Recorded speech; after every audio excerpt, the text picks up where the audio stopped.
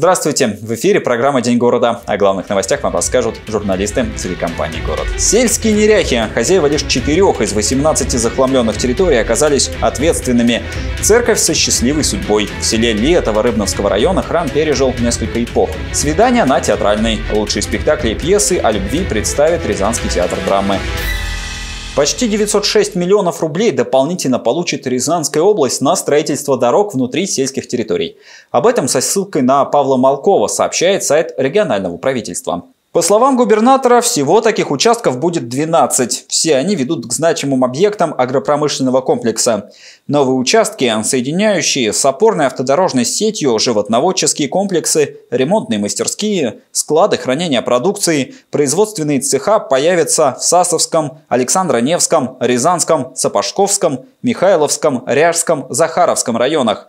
И, как заявил председатель Комитета по бюджету и налогам Госдумы России, депутат от Рязанской области Андрей Макаров, в 2023 году объем средств на поддержку села увеличится по сравнению с текущим годом на четверть. Захламил зеленую зону – получи штраф. И зачастую на практике встречаются случаи, когда арендаторы земельных участков специально накапливают штрафы и платить по ним не хотят. На этот раз такой фортель не прошел.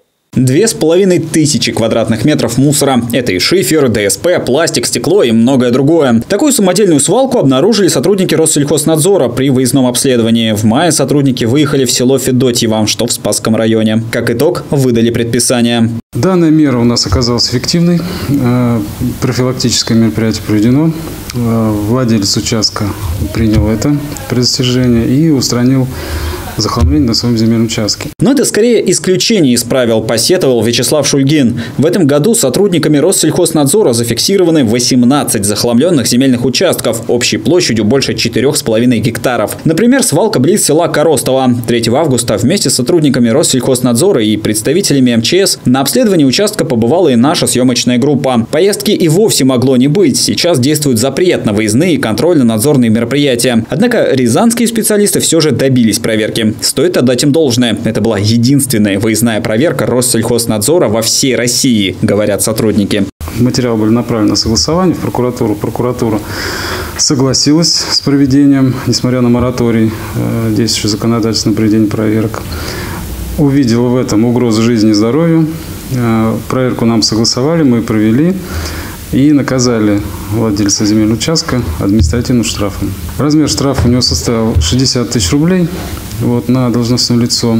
К положительным примерам можно отнести свалку в селе Дубровичи. Собственник признал свою вину и уже спешно убирает мусор. Сотрудники Россельхознадзора видят проблему загрязнения сельхозтерриторий в том, что собственники участки не засеивают. Поэтому и свозят люди мусор на, казалось бы, неплодородные земли. В целом же динамика скорее отрицательная. Из общего захламления в 4,5 гектара убрано лишь 40 соток. Остальные же собственники копят предписания. Возможно, скоро начнут копить и штрафы. А затем разрабатывать проекты рекультивации в ускоренном темпе.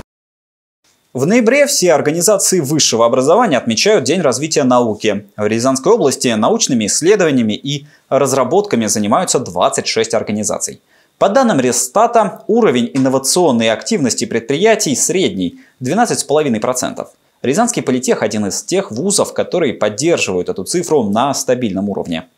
Рязанский политех – один из самых статусных вузов региона. В первую очередь из-за подхода к обучению. Во-первых, здесь уже на втором-третьем курсе студенты получают рабочую специальность. А во-вторых, все научные работы и изыскания, будь то курсовая или диплом, здесь делают не в стол, а для конкретного предприятия. И получается, что участие политеха в научной деятельности не какое-то там гипотетическое, а вполне себе предметное. Мы пошли по другому пути. Только заказные, согласованные с работодателем.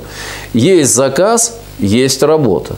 Нет заказа, значит, мы, соответственно, обращаемся к нашим союзам машиностроителей, союзам строителей, нашим предприятиям и говорим, пожалуйста, мы готовы в рамках учебной работы абсолютно бесплатно выполнить ту или иную работу.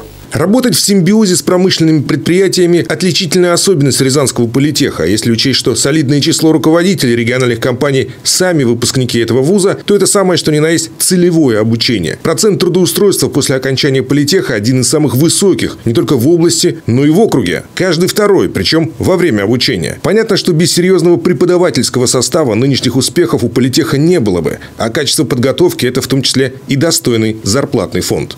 Прошлом году мы смогли поднять зарплату преподавательского состава на 15%. Вот. В этом году мы подняли заработную плату преподавательского состава на 10%. То есть каждый год не менее 10% мы индексируем заработную плату ППС. Тем самым мы, соответственно, привлекаем к себе хорошие кадры. И второй момент, мы используем э, наши, опять же, э, базы практической подготовки, чтобы практики преподавали у нас именно с этих предприятий и организаций. Почему профессия инженера в ближайшее время станет самой востребованной? Какую зарплату для выпускников политеха его руководитель считает достойной? И когда в ВУЗе день открытых дверей? Смотрите в программе «Городские встречи», которая выйдет на нашем канале в самое ближайшее время. В Рязанской области, как известно, множество старинных церквей. Одни давно заброшены, в других же, наоборот, службы идут до сих пор. Об одной из таких, которую по праву называют церковью со счастливой судьбой, расскажем далее.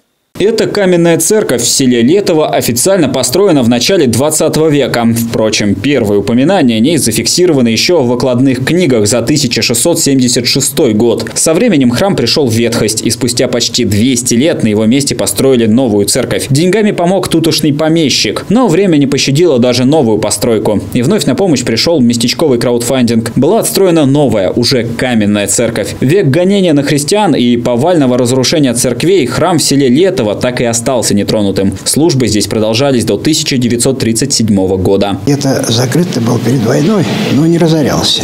Так. В 46 году антимес написано, дан суда в 46 году. А батюшка последний, отец Ан, Царство Небесное, забрали его и все, с концами. Ну, это где-то 35-й, 34-й год. Самые репрессии были 37 год. Многих расстреляли. Храм построен в честь святых бессеребренников Космы и Дамиана. Эти люди жили на заре христианства. Оба выучились, как тогда говорили, на врачебное дело, а мать привела им любовь к Богу. Они и лечили бесплатно, опираясь на заповедь. Даром получил, даром давай. Поэтому и стали они бессеребренниками, то есть святыми, которых ценили за бескорыстие. Врачевали они через веру. Первое, что спрашивали у пациента, веришь ли ты во Христа. Они не своей силой исцеляли. У них была благодать Божия. Господь посредством их исцелял. Естественно, была у них любовь. И любовь к людям. И они не только вот к ним приходили, они сами ходили по городам, по весям. И цель не только людей, но и животных. 14 ноября храм Бессеребренников и чудотворцев Космы и Дамиана встретил свой престольный праздник. По доброй традиции начали с крестного хода. Молите Бога также в этот день по доброй традиции чтят память тех, кто служил в этом храме. Здесь начинали свой путь два будущих архиерея. Также около двух лет вторым священником в храме был Иоанн Крестьянкин, которому после ссылки запрещали служить в Москве. Старожилы до сих пор вспоминают, как детьми бегали за советом к мудрому старцу. До сих пор в храме стоит его посох. Бегал к нему за советом и будущий протеерей Иоанн Аверин. Там он дал совет – не уезжай никуда, оставайся здесь. И до сих пор протеерей является настоятелем храма бессеребренников пророков и чудотворцев Космы и Дамиана. Также помогает советом и добрым словом.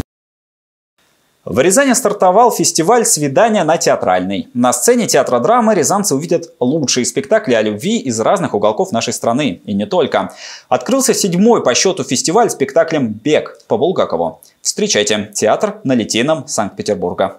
В источниках пишут, что, услышав пьесу Михаила Булгакова в авторском прочтении, Максим Горький назвал ее превосходнейшей комедией с глубоким, умело скрытым сатирическим содержанием и предрекал ей большой сценический успех. Однако при жизни Михаила Афанасьевича она так и не была поставлена. В театре на Литейном спектакль стал режиссерским дебютом Романа Агеева, артиста и киноактера. Весьма известная пьеса, которая известна у нас по фильму, вполне звездному, и, э, ну, кто-то, наверное, как как бы знаком и с самим произведением. А здесь э, попытка сделать такое открыто-театральное прочтение, подчеркнуто театральное прочтение э, с использованием языка и клоунады, и цирка, и, может быть, немого кино, концерта. Э, в общем, ну, такой вот открыто-театральный, гротескный э, прочтение данного конкретного произведения. Главной темой сам режиссер обозначил утопическое чувство любви к родине, проявленное в среде снов. Сны – это мистическая дверь, которую открывают персонажи. Зрителям явилось гротескное, сумасбродное действие с непредсказуемыми ситуациями и драматическими сюжетными поворотами. Эстетика этого спектакля может быть немножко подверстана еще и под историю театра на Литейном, который, понимаете, знаете, вообще историю интересную, потому что это же э, имение графа Шереметьева, угу. да, и когда-то на этом месте вообще был лошадиный манеж, например, да, то есть цирк, пожалуйста вам, лошадиная выездка, вот э, как бы э, этот контекст тоже есть. А потом действительно был театр ужаса, театр Гиньоля, то есть это из Парижа пришедший к нам. Перед нами театр, имеющий такую своеобразную историю, вот, и может быть в данном случае, я просто даже не подумал об этом, этом вы сейчас сказали, и я подумал, что, может быть, Роман Агеев действительно немножко играет с историей этого театра. Репетировали спектакль три года. На сцене он с декабря 2021 Ну, я давно увлекаюсь э, пластическими тренингами, пластикой, и поэтому тут как-то совпало желание актеров, мое, попробовать что-то. Безвыходная была ситуация, все начали пластически двигаться, ну и как-то совершенствоваться. Вот. кто-то может ну, воспринимать такую, ну, как бы движенческую, что-то это будет раздражать. Но это же не, э, как говорил второй мой педагог, и многие люди у нас в Питере, спектакль не 100-долларовая купюра, чтобы всем нравиться. Везде будет свой зритель везде. То есть где-то его будет больше, то есть э, где-то там будет спектакль, на котором будет в антракте уходить, к сожалению. Но... Фестиваль продлится до 20 ноября. У вас еще есть возможность попасть на другие спектакли «Свидание на театральной». Афиша на сайте театра и в социальных сетях. Коренная смена времен года произойдет в Центральной России на предстоящей неделе, а снегопады и морозы начнутся в Рязани в ближайшее время. Рубиконом между осенью и зимой станет вторник, 15 ноября. Столбики термометра закрепятся на отрицательных отметках, а уже к вечеру пойдет снег, который усилится в ночь на среду, 16 ноября. Далее о погоде. Облачная погода с прояснениями, небольшой снег и гололедица, а также от 2 градусов мороза. Такова обстановка в Рязанской области во вторник, 15 ноября. Днем в Рязани температура воздуха составила от минус 2 градусов до нулевой отметки. Ночью ожидается понижение, вплоть до 4 градусов мороза. На территории региона сегодня было от минус 4 до плюс 1 градусов в дневное время суток и до 6 градусов ниже нуля ожидает в ночное. Ветер южного направления со скоростью скоростью 4,9 метров в секунду. Атмосферное давление 749 миллиметров ртутного столба. Уже в ближайшие дни показатели термометров отобразят температуры на минусовом уровне и уже не будут подниматься выше нуля. В Рязани области установится небольшой, но постоянный снежный покров. Причем в выходные, по прогнозам, высота сугробов в Рязани может достичь 8, а в области 10 сантиметров. На водоемах начнется ледостав. Температура воздуха на неделе составит минус 5, минус 10 10 градусов ночью и минус 2, минус 7 днем. Несмотря на то, что метеозима наступает с опозданием в 5 суток, говорят специалисты, снежный покров начнет формироваться раньше положенной средней даты его появления почти на две недели. Кроме того, по мнению некоторых синоптиков, такая стремительная смена погоды является визитной карточкой смены климата. Еще на прошлой неделе спасатели предупреждали жителей региона о сильном ветре с порывами до 23 метров в секунду. Водители Водителям рекомендовали соблюдать скорость и дистанцию между машинами, а пешеходам избегать рекламных и шатких конструкций. А воздух прогревался до 12 градусов тепла. И это были последние теплые дни перед долгими морозами.